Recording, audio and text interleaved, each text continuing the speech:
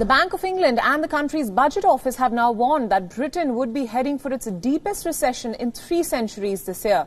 A tight coronavirus lockdown observed in the month of April has now resulted in a record 20.4% contraction in Britain's economy. And this contraction is three times greater than the decline seen during the 2008 economic downturn.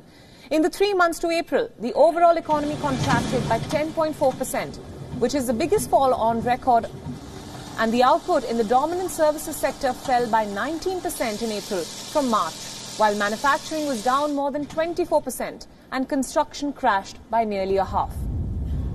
The data released by the Office for National Statistics points to the bottom of the crash before a long and slow recovery.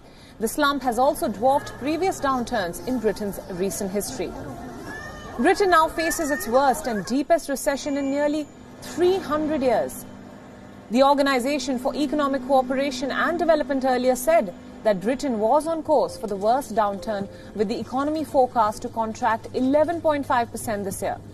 The British government has now taken a few steps, including a scheme to pay workers who are only temporarily laid off, alongside grants, loans, and tax cuts for companies to bring the economy back on track. Next week, much of Britain's retail sector is due to reopen as long as shops follow strict social distancing rules. The Bank of England has already said that signs of an economic recovery are visible as the coronavirus imposed lockdowns and restrictions are lifted. But there is still likely to be long term economic damage.